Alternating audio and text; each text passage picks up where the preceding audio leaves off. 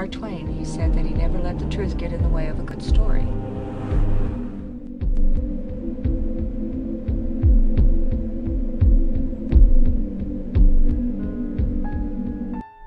I consider myself a sensitive. Um, I'm not going to say a visual because I, I don't. I don't like to rectify myself as a medium or a psychic because I, I really don't believe in those. Um, I don't think anybody can foretell your future. I think your future is in your own hands, but I believe that there is things of the unknown and things on the other side. For unknown reasons to me, I'm not sure, but um, uh, I can hear the static and the breathing in my earpiece. and I had Chris checking the levels, and everybody was quiet, and I heard nothing in my headphones, but our audio levels were peaking at red uh, for no reason. After a few moments, um, I, s- I s- I moved from the spot. Hey, get over here. Get over here. Jeff, this is actually a What's wrong? and my car alarm went off. And we came down back over here to look at the car, see if everything was okay, and nobody was here, nothing was here.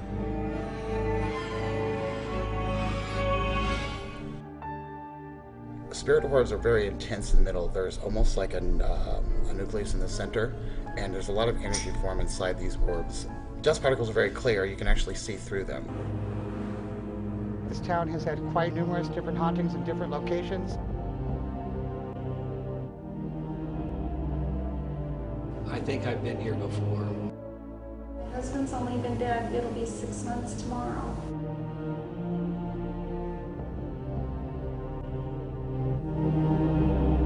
The devil's so powerful that he can even represent the angel of light and misguide people.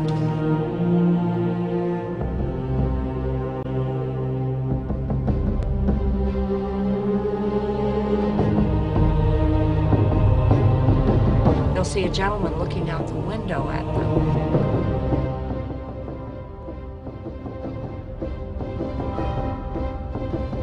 We're here testing the waters. People get pinched back here, young ladies. There's something that always draws people back to Virginia City. We're here to give you nothing but strictly truth with no alterations, no fabrications, no overlays or anything. Nothing's been tampered with. Everything that you see is going to be strictly true. I could literally feel evil. I have Why was I so cold seen in that things move spot? without any. I'm not sure what that is. Oh my god. Hi, I'm Mike. I'm with the Othersidez. A lot of people don't know of this place, but we're going to take you inside and show you what the truth is behind the paranormal. According to legend and story, this place has been haunted for over 200 years. The stories behind different entities and apparitions and things being heard or people being touched or people being shoved. We're here at Cathedral Canyon here in Nevada very unknown location. So we're going to take you inside these cemetery gates. So let's take a walk. Along with my crew, these the gates that we'll be entering to go into the canyon.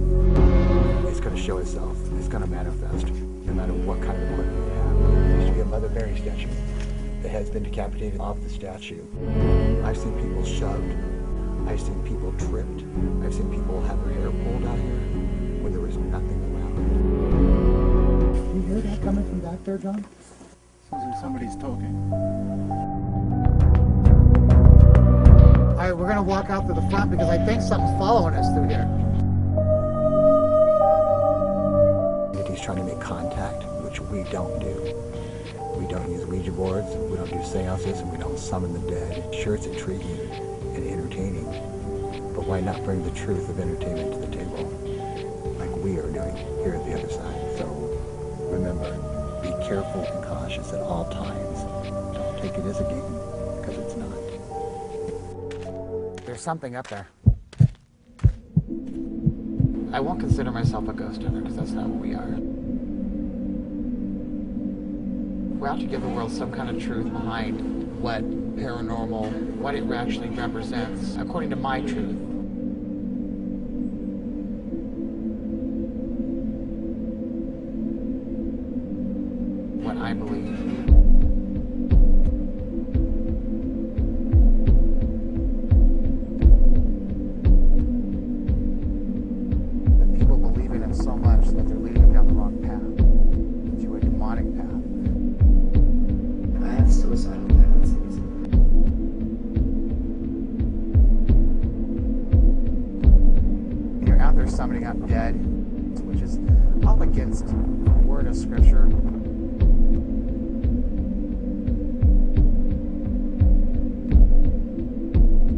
played with Ouija boards. Mm-hmm. You can hear his voice in your head. Well, I know mine talk to me all the time.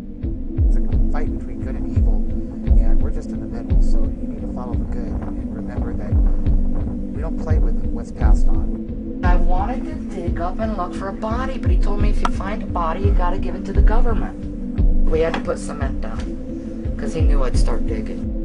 Don't you find this rather odd? All of a sudden, there's something that approaches you. You think it's your family member or your friend because that's who it looks like, but it's not. Keep an open mind. Don't let your imagination run away with you.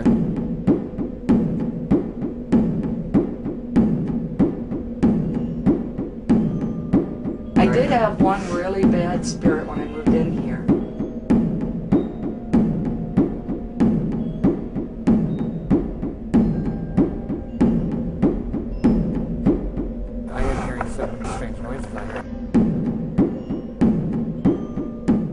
was 14 and I was into black magic, I did something against a girl I didn't like in school, and it worked.